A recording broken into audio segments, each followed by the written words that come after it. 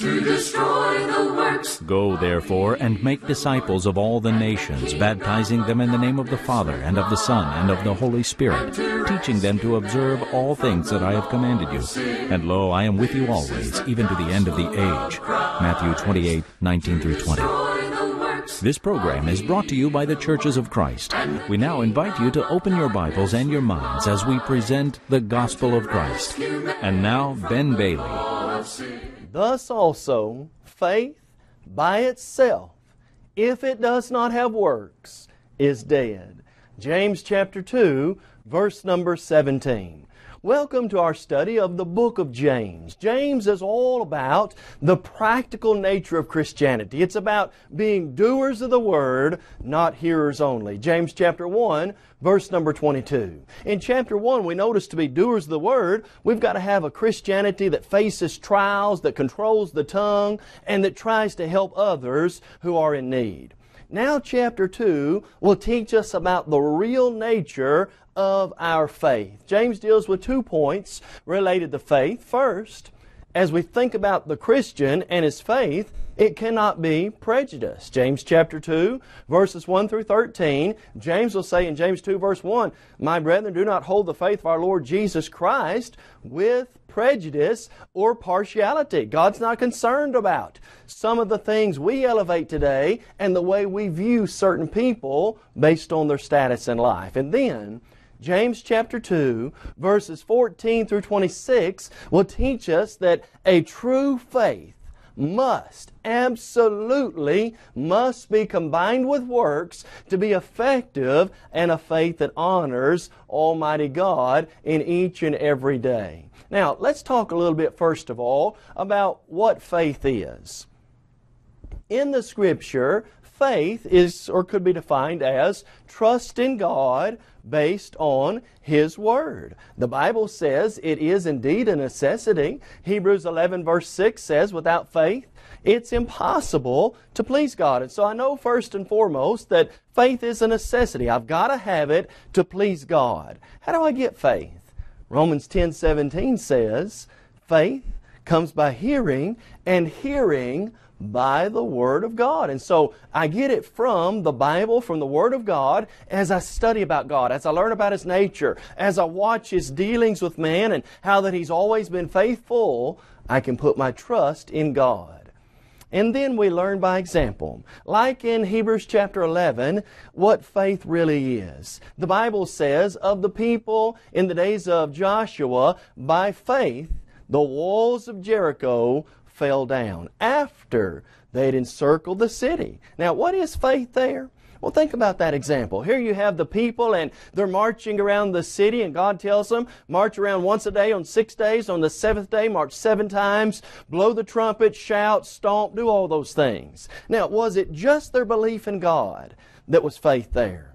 No, it's combined with action. They had to march. They had to do it seven times the seventh day. They had to shout. They had to blow the trumpet. They had to stomp. Well, did all that make the walls fall down? No, it was their faith.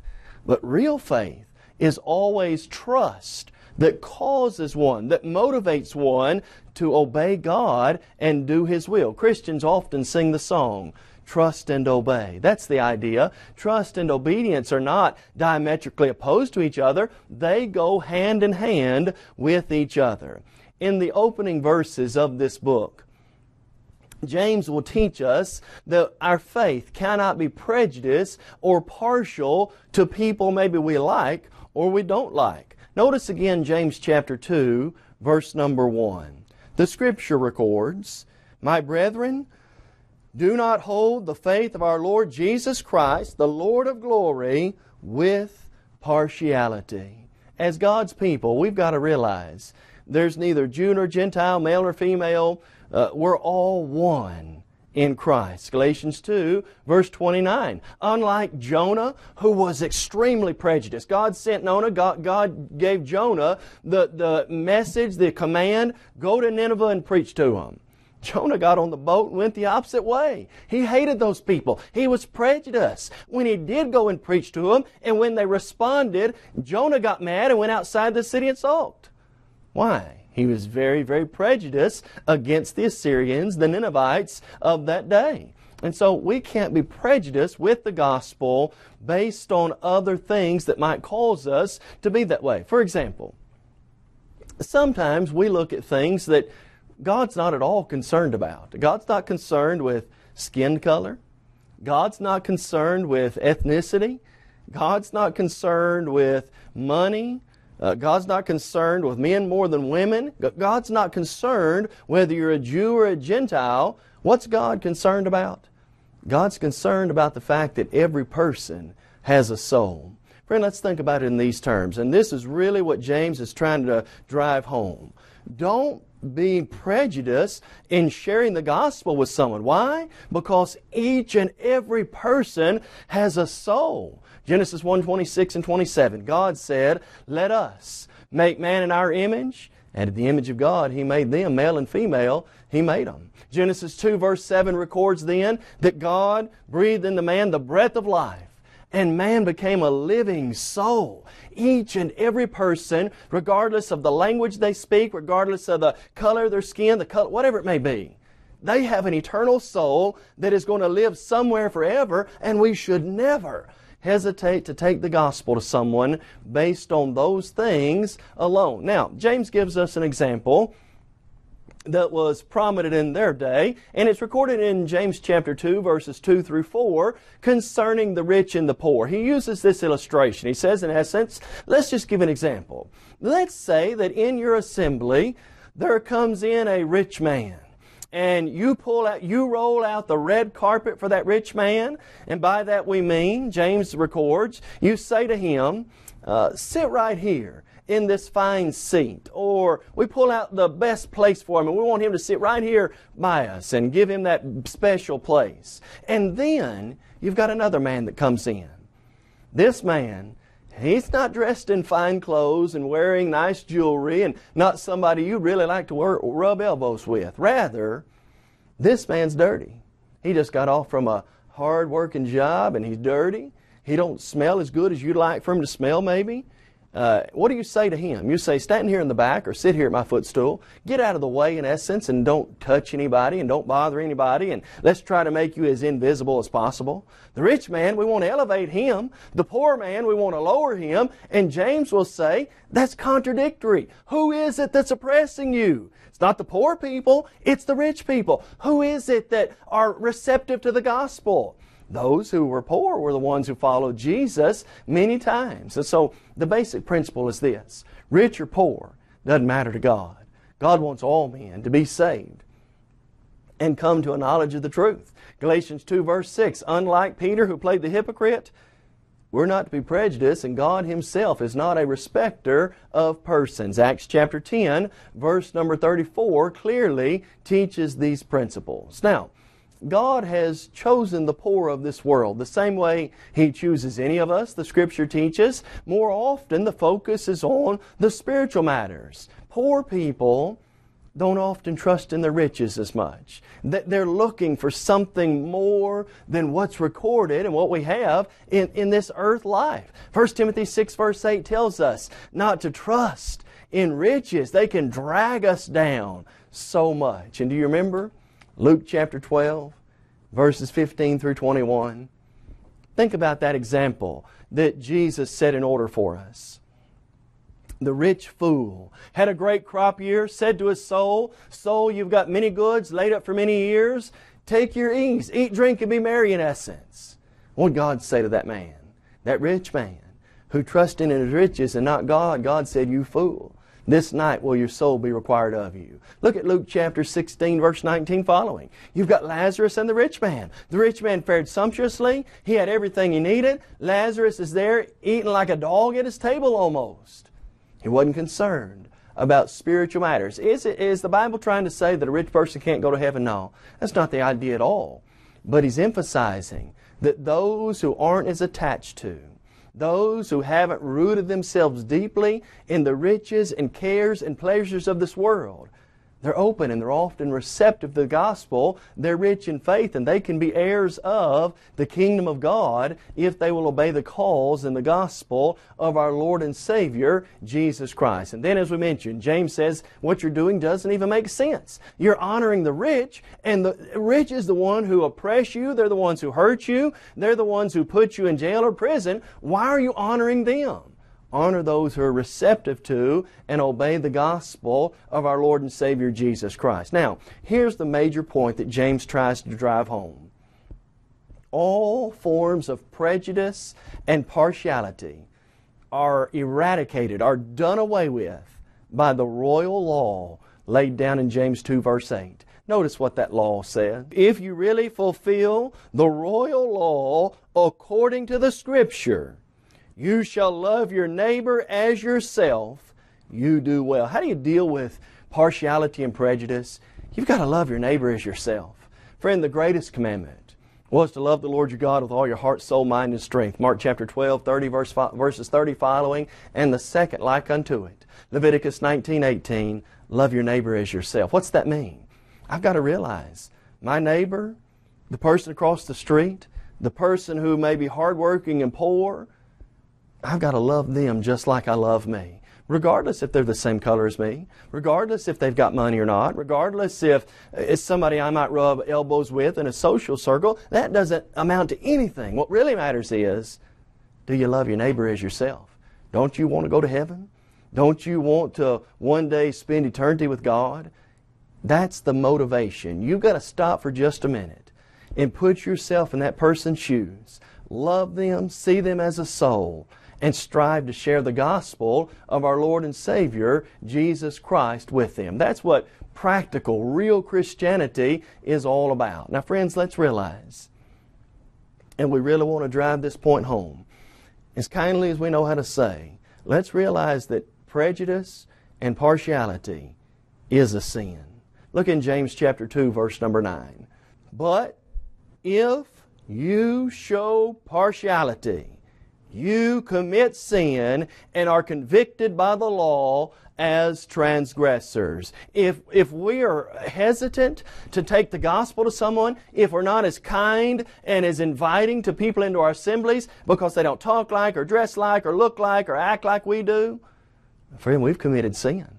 That's against the will of God. And as we said, it's against the will of God because God created man in His own image. When I think or speak badly, about someone who I may not like based on certain external features, that person's creating the image of God. I need to be very careful. God made them just like He made me. And in the kingdom of Christ, Galatians 2 verses 26 through 29, there aren't these classes. There aren't these hierarchies. There aren't these areas where somebody's above somebody else. You're all one in Christ Jesus. So, so let's realize that is contrary to the will of God, and we must, we absolutely must be faithful to the Lord and live true to Him each and every day of our life. Now, let's turn our attention then to the words of verses 12 and 13, and, and, this is really the idea. Instead of being partial, I need to do unto others as I would have God do unto me. Look in verses 12 and 13 so speak and so do as those who will be judged by the law of liberty, for judgment is without mercy to the one who shown no mercy. Mercy triumphs over judgment. What's the point here? I want to do unto others as I want God, not them, as I want God to do unto me. Well, I'm going to be judged by the perfect law of liberty. How do I want God to judge me? Do I want God to be a, a hard, an angry, a prejudiced and partial judge? Oh no. I want God to be merciful. I want God to be gracious. I don't want God to look at the exterior. I want God to see my heart. I want Him to know that I've strived, and I want the mercy and grace of God, no doubt, to prevail. Well, friend, if that's how I want God to do with me, the Bible says we need to do the same. I want to be kind. I want to be inviting. I, I want to be open. I want to share the gospel with anyone, regardless of where they might be or what they might have come from. We need to have the heart of God who wants all men to be saved and come to a knowledge of the truth. Now, as James thinks about this idea of real faith, not being prejudiced, not being partial with the gospel, putting our faith now into action, James then deals with the idea that faith alone can't save a man. Look at James chapter 2 and notice the problem in verse 14.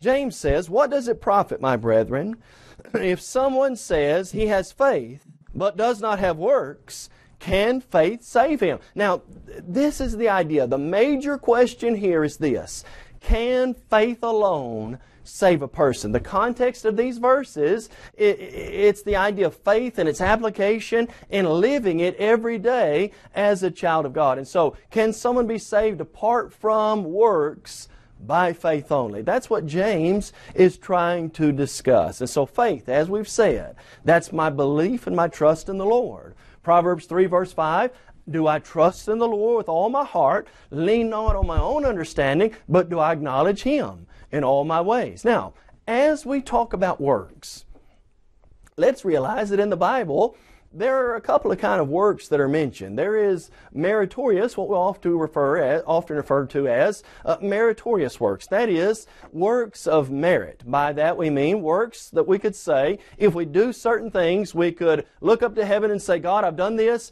you owe me salvation the Jews did this at times. They said to themselves in John chapter 8, because we're the seed of Abraham, we're destined to be God's chosen people. And Jesus said God's able to raise up seed Abraham from these stones. Don't say to yourself, we've got Abraham as our father. They thought just because they were Abraham's descendants, they had it clinched. They had it taken care of. That they were meritorious works. That's not what James is trying to discuss here. Rather, James is discussing a type of works known as conditional works. John chapter 6 verse 29 teaches us about these works. For example, belief itself is a conditional work. John chapter 6 verse 29 they have asked Jesus, What must we do that uh, we may works the works of Him who sent us? And Jesus said, This is the work of God from God, that you believe on Him whom He sent. A work, what do you mean? It was a conditional work something they had to accept and do and live out in their life. And so when James talks about works here, he's talking about conditions, things God has set forth. For example, John 14, 15, Jesus said, If you love me, keep my commandments. Now, are we going to say, when we keep God's commandments, going to look up to heaven and say, God, you owe me salvation, I did it? No, we're still saved by the grace of God. But must I keep God's commandments? Must I meet those conditions God has set forth? Absolutely. And that's the kind of works that James is discussing in this context. Now, here's the example that James is going to draw up. I want you to think about this for just a moment. James says, Here's what I want you to think about. You say you've got faith, somebody says they've got works. Well, let me give you an example. Just imagine that a brother or sister is naked and destitute of food and daily clothes, uh, clothing and food and the things he needs for this life. You say, God bless you, I hope you get a hot meal and warm clothes and have a good day. Is that real faith?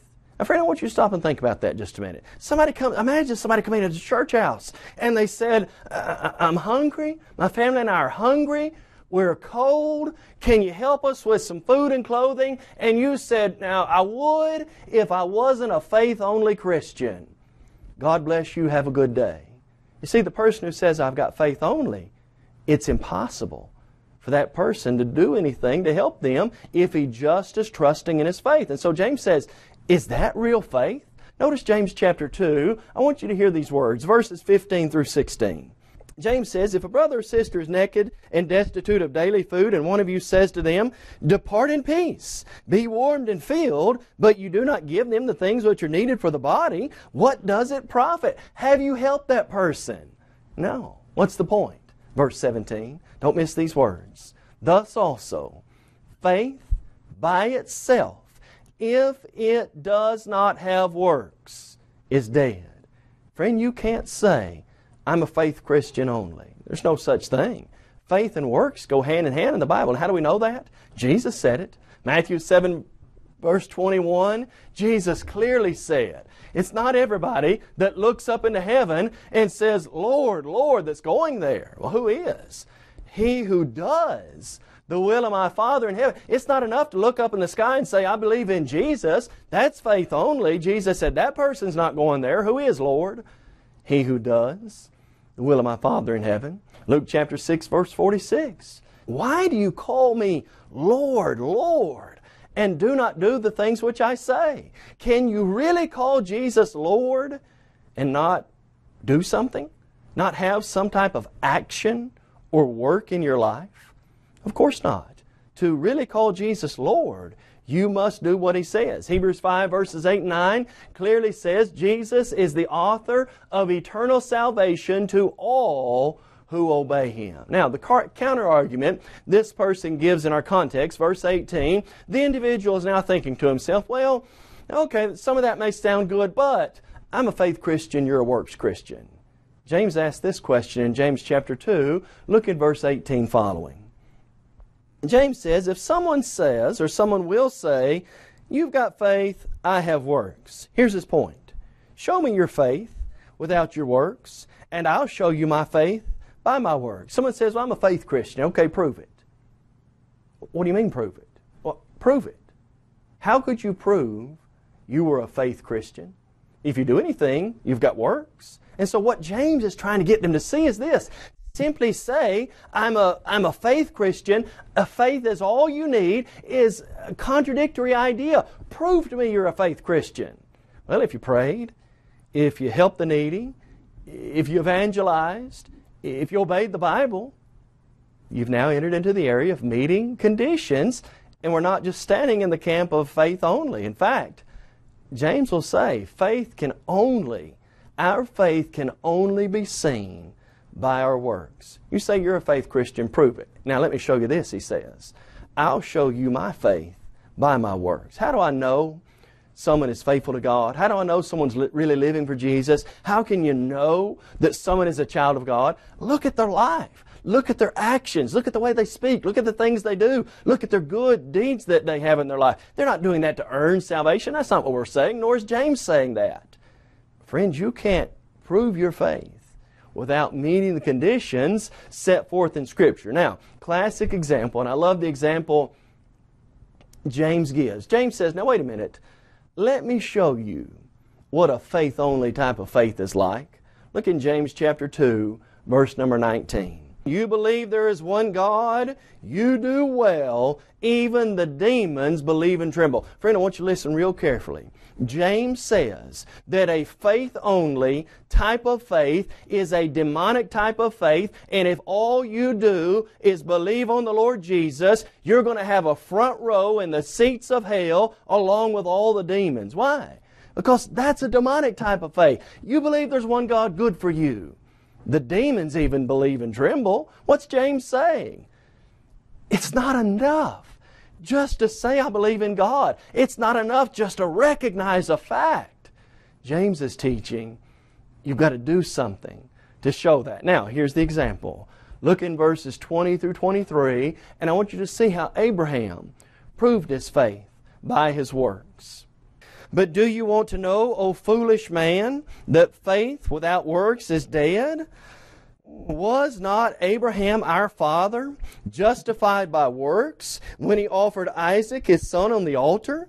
Do you see that faith was working together with his works, and by works, faith was made perfect or complete. And the scripture was fulfilled, which says, Abraham faithed. Abraham believed God, and it was accounted to him for righteousness, and he was called the friend of God. Who's the person in the Bible that Scripture says believed God and was the friend of God? Did he have faith? Yeah. How do you know? God said, Abraham, all the promises are coming through you, through your seed. You've got this one son, Isaac. It's took a long time and a lot of work to get him here. Here's what I want you to do. I want you to take him up on Mount Moriah, and I want you to offer him as a sacrifice. What did Abraham do to prove his faith? Abraham said, Yes, sir, God, if that's what you want me to do, let's pack the horse. Let's me and Isaac head up the hill. I'm going to do it. Hebrews 11 tells us why. He was so convinced in the promises of God that Abraham knew that if he killed his own son, God would even raise him from the dead. How do you know Abraham had faith? Well, it wasn't enough just to say, okay, God, I believe you. Abraham had to load up his son. He had to walk that long trek up that mountain. And he took his knife and he was ready to do it. Do you think Abraham just believed? Faith only would be as disrespectful as you can imagine to the example of Abraham and to God Himself. Well, what, what's the lesson then? Here's the idea James chapter 2, verse number 26, kind of solidifies the point. The Bible records, For as the body without the spirit is dead, so faith without works is dead also. What's a faith only type of faith like? Like that body laying over there in the casket. It's dead, it's inactive, it's lifeless, it's profitless, it comes to nothing. Good for nothing in that. Uh, that's the point. James is saying if you want to say to yourself, I've got faith only, you're like a dead body lying in a casket, good for nothing. Well, what is the point then? James is teaching us you've got to put your belief into action. Don't just stand up and say it, do it. James chapter 1 verse 22, be doers of the word, not hearers only, deceiving yourselves. Now, here's one of the major points we want to drive home. We left this verse in the context for a purpose, and I want you to notice it now. James teaches us this lesson, James 2 verse 24. The Bible says, You see then that a man is justified by works and not by faith only. Friend, I want you to listen real carefully. I want you to make sure you don't miss this point as James is speaking to us. The only time in Scripture the words faith only ever occur did you know God says it won't save? Now you let that sink in just a minute. There have been a multitude of religious leaders who said that all you got to do to be saved is believe in Jesus and have faith only, and the only time faith alone is ever used in the Bible, God says faith alone will not save. Friend, be sure. Mark it down. Scripture teaches faith alone is not going to get anybody to heaven. Do I have to have faith? Don't get me wrong, you've got to believe in Jesus. Real type of belief, though. Belief that motivates one to action. John 8 24, you've got to believe Jesus is the Son of God, so much so that you're willing to act upon that belief by repenting. Acts 3 verse 19, Peter preached, Repent and turn, that your sins may be blotted out. Having repented, make the good confession. Matthew 10, 32 and 33, Jesus said, If you won't confess me before men, neither will I confess you before my Father who is in heaven. But if you will confess me before men, I'll also confess you before the Father. And then, then, friend, take your faith into action and do what Peter said. Repent and be baptized, every one of you, in the name of Jesus Christ for the remission of your sins. What's James 2 all about? Faith and works go hand in hand, like a hand in a glove. Faith and works complement each other. Let's each of us strive every day to put our faith into action and follow Jesus faithfully. We encourage you to visit thegospelofchrist.com for a host of Bible study materials as well as audio and video copies of our lessons. If you would like to have a copy of today's lesson, please visit our website and fill out a media request form, or you can email us at mail at thegospelofchrist.com. Call us toll free at 1 855 458 3905 or write to us at P.O. Box 788, McMinnville, Tennessee 37111. This is the gospel of Christ, and to God be